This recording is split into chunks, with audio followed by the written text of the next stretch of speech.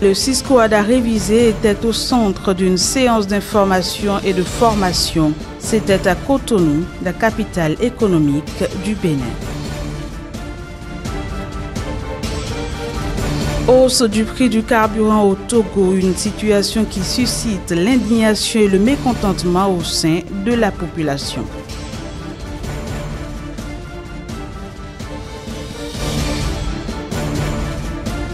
Puis la Chine a dû revoir à la baisse son objectif de croissance du produit intérieur brut à environ 6,5% au titre de cette année.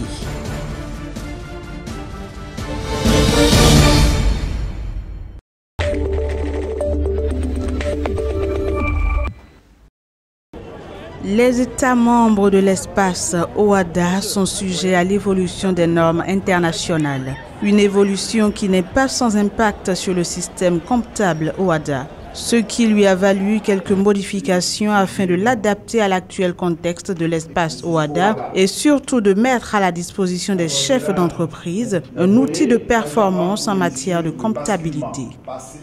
C'est la performance des entreprises redynamiser les entreprises, donner plus de pouvoir aux chefs d'entreprise et qu'ils puissent aller de l'avant. Avant, c'était de la compta pour de la compta. Désormais, c'est un outil de gestion qui permettra aux chefs d'entreprise qui n'a même pas de notion de comptabilité d'avoir un document qui lui permettra de faire la synthèse complète de son entreprise. Le Cisco ADA s'applique aux 17 États membres de l'espace OADA. La nouvelle norme a été adoptée fin janvier 2017 par le Conseil des ministres de l'organisation. Le document comporte neuf actes uniformes de l'OADA, dont un basé sur la comptabilité.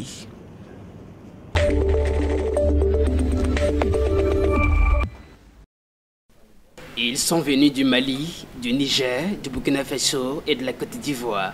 Réunis à Bigan à l'occasion d'une assemblée générale extraordinaire, ces professionnels africains du secteur de l'immobilier ont porté sur le fonds baptismaux une association dénommée FIABSI Afrique, Fédération internationale des professions immobilières.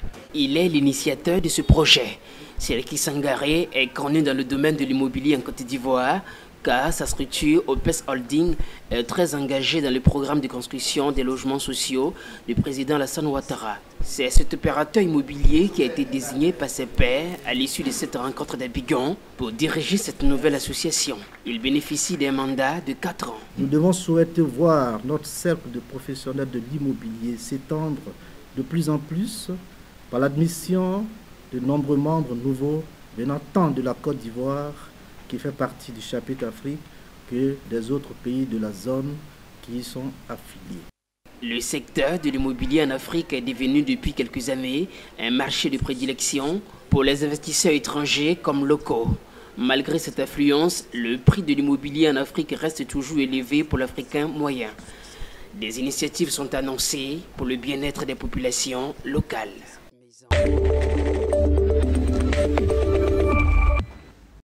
C'est à 626 francs. Avant, c'était à 476. Le dernier réajustement du coût des carburants opéré par le gouvernement togolais, compte tenu de la fluctuation du coût des barils sur le marché international, n'est pas bienvenu dans le rang de la population et surtout des conducteurs des autos et motos-taxis. L'augmentation nous est parvenue, c'est-à-dire c'est brusquement quoi. Très brusquement, il n'y avait pas une explication d'avance. Ça perturbe énormément parce que l'augmentation du, du carburant n'a rien à voir sur le prix que nous, nous prenons nos, clients. C'est toujours le même prix que nous prenons ça. Si tu, tu leur dis même ils ont augmenté le prix du carburant, ils te disent ce n'est pas eux qui ont augmenté le prix du carburant. Pour ces conducteurs, comme certains partis politiques et associations, le gouvernement doit revoir le prix du carburant à la baisse. Nous on souhaite que le carburant n'a qu'à que les autorités qui n'ont qu'à descendre le prix. Au moins, au moins si c'est si comme le prix est à 400 cette augmentation de 50 francs CFA par litre sur le carburant à la pompe a été à l'origine d'un mouvement de protestation le 28 février dernier à Lomé. Un bus de transport en commun entièrement consumé, une perte en vie humaine et d'autres infrastructures publiques endommagées. C'est par l'incompréhension, ils ont fait ça brusquement.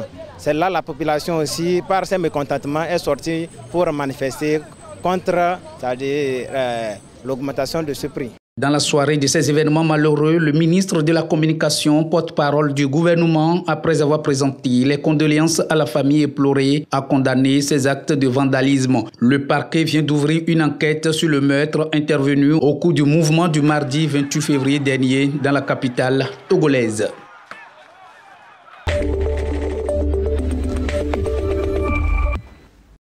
Vous avez dit 1000. 196 8 85 pour 20 000. C'est activé. Françoise vous avez reçu. Je vous en prie. Bonne soirée. Le call center, au fait, c'est de communiquer, convaincre les gens et aussi chercher à gagner la clientèle. Souvent installé dans les entreprises de GSM, le call center est aussi utilisé dans les institutions de transfert d'argent. Si nous travaillons avec les agences, les agences appellent, nous avons les, lignes téléphoniques appropriées. Les agences appellent pour faire la validation des cartes et payer les codes. La discrétion, la gestion des humains ici en ligne sont des éventuelles facultés parmi tant d'autres que doit avoir un agent de service de call center. Il garde les secrets professionnels, il peut se protéger et protéger la société. Il faut beaucoup de patience. Il faut être spontané pour pouvoir satisfaire les clients à temps. Tous les deux se retrouvent dans les services de call center. Le call center pour l'homme, c'est bon. Ce n'est pas le, le genre de personne qui prend l'appel qui est le plus important mais c'est la réception et l'accueil chaleureux qu'on donne au fait aux partenaires qui est le plus important. Moins connu du commun des mortels, le call center nourrit l'homme selon ces professionnels rencontrés à Selka Technologies au Togo.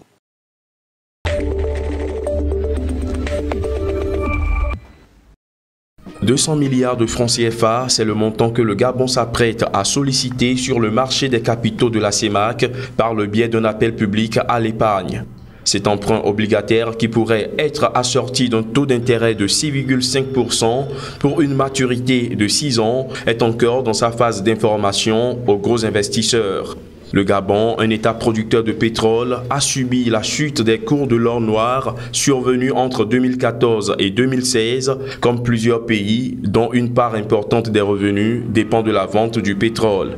Cet emprunt obligataire pourrait donc permettre au pays de financer le déficit de son budget 2017 qui a été voté en baisse de 5% par rapport à celui de l'année 2016. Parlant des taux de rendement des titres publics gabonais, on note que les obligations à 5 ans affichaient en janvier 2017 un rendement de seulement 5,74% contre 7,12% en janvier 2016 et 6,5% en juin 2016.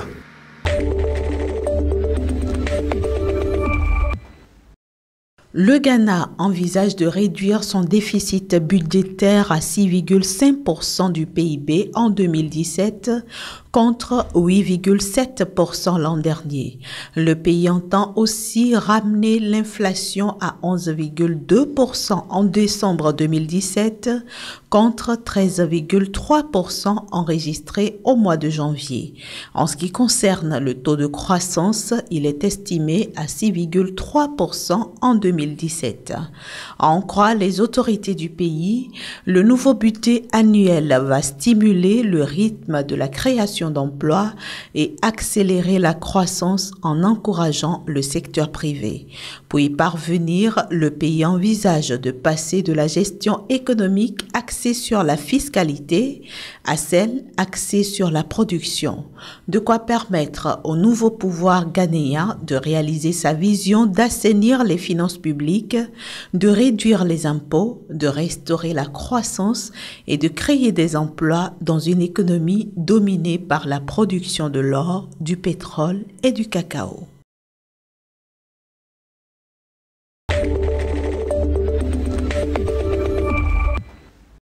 Pour la première fois, l'opérateur de téléphonie mobile MTN a enregistré une perte annuelle de 108 millions de dollars. Il s'agit là des conséquences de la lourde sanction de 1,6 milliard de dollars d'amende a frappé la filiale nigériane du groupe, à qui l'autorité nigériane de régulation des télécommunications reprochait de n'avoir pas désactivé 5,1 millions de cartes SIM non identifiées. La perte enregistrée intervient un an après un exercice sanctionné par un bénéfice de 13,6 milliards de rand, soit 1,04 milliard de dollars. Elle coïncide par ailleurs avec l'ouverture d'une enquête des parlementaires nigérians visant à vérifier si MTN s'est livré à un transfert de fonds illégal. Ces parlementaires reprochent en effet au groupe sud-africain d'avoir rapatrié illégalement 14 milliards de dollars entre 2006 et 2016. Fondé en 1994, MTN est considéré comme l'un des plus grands succès commerciaux de l'Afrique du Sud post-apartheid. Un succès qui a bien du mal à garder son cap à cause de ses nombreux démêlés avec les régulateurs.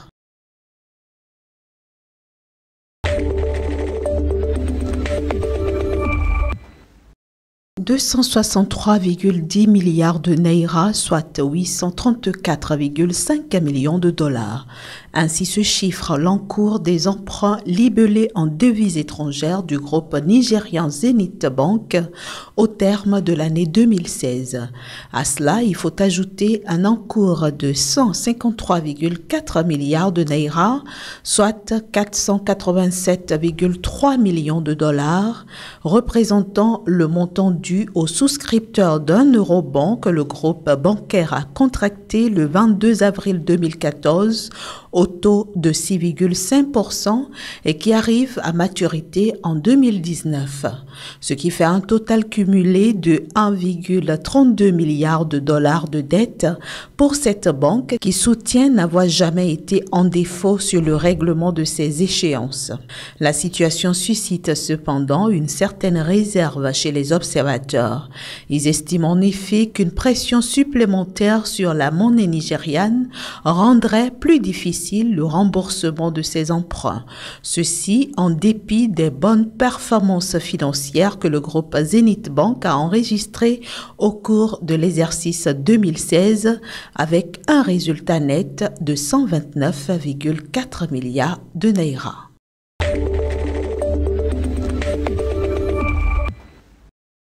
La Chine a abaissé à environ 6,5% son objectif de croissance économique pour 2017, selon un discours prononcé dimanche par le Premier ministre Li Keqiang devant le Parlement chinois à l'ouverture de sa session annuelle. Cette prévision ouvre la voie à un nouveau ralentissement de l'activité économique cette année. En 2016, Pékin s'était fixé un objectif de croissance compris entre 6,5% et 7%, mais finalement la croissance de la deuxième économie mondiale était tombée à 6,7%, son plus faible score depuis 26 ans. Ce chiffre dont la fiabilité est contestée témoignait d'une dégradation persistante de la conjoncture.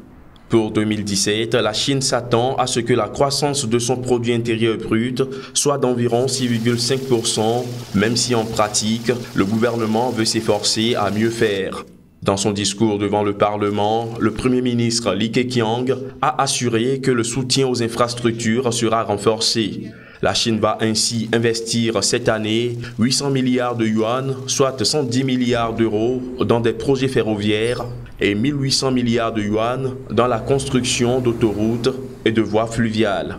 Cependant, le pays réduira de 50 millions de tonnes les capacités annuelles de production de l'industrie sidérurgique et de 150 millions de tonnes celles du secteur du charbon.